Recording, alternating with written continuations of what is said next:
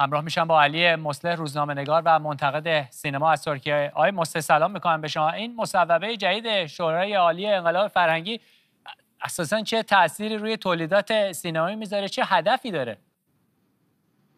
ببینید تاثیر آنچنانی نمی‌ذاره چون این مواردی که مثلا شما اشاره کردید همین الان هم اجرا میشه. فقط اومدن بهش یک حالت قانونی دادن یک حالت دائمی میشه گفت دادن.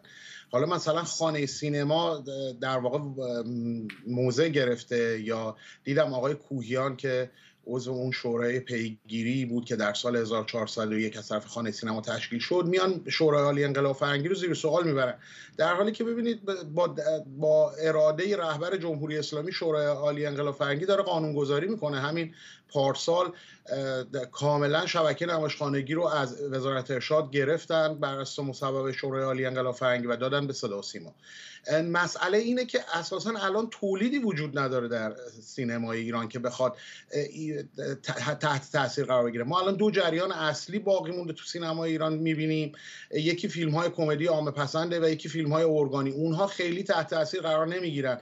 در واقع همه حرفی که از بعد از 1401 سینماگران دارن می‌زنن اینه که دیگه کسی حاضر نیست در این شرایط بخواد مثلا فیلم جدی بسازه فیلم اجتماعی بسازه فیلم متفکرانه بسازه. از طرف دیگه به دلیل برخوردهایی که با سینماگران شده سینمای زیرزمینی که اصلا مجوز نمی‌گیره تقویت شده.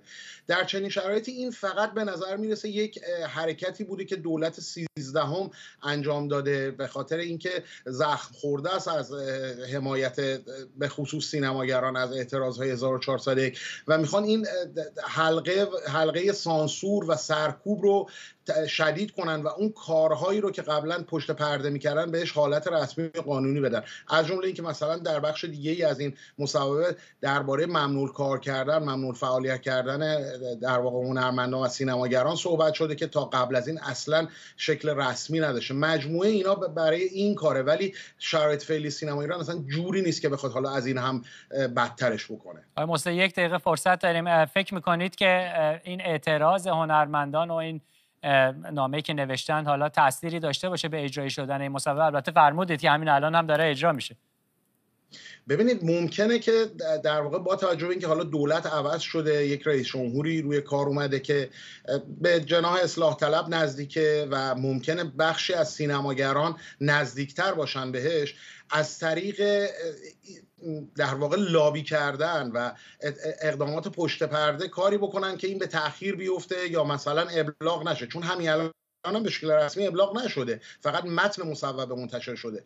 ولی در واقع این اعتراض هایی که خانه سینما یا سایر نهادهای سنفی در رشته های مختلف هنری می‌کنن معمولا تأثیری نداره. دولت نشون داده که اگر بخواد کاری بکنه اون رو انجام میده. ضمن اینکه تکرار می‌کنم حتی اگر این مصوبه رسمی نشه و نهایی نشه همه این چیزهایی که همه نه ولی اغلب چیزهایی که درش اومده همین الان هم داره اجرا میشه. رئیس سازمان سینمایی می‌تونه جلوی فیلم ها رو بگیره سازمان سینمایی می‌تونه اکران فیلم ها رو به تاخیر بندازه این حق به تو رو دارن. ولی در نهایت یک فشار اجتماعی و رسانه ای ایجاد می‌کنه برای دولت جدید. شاید این رو در واقع به تعویق بندازن. علی مصلح روزنامه‌نگار و منتقد سینما. مرسی آقای مصلح.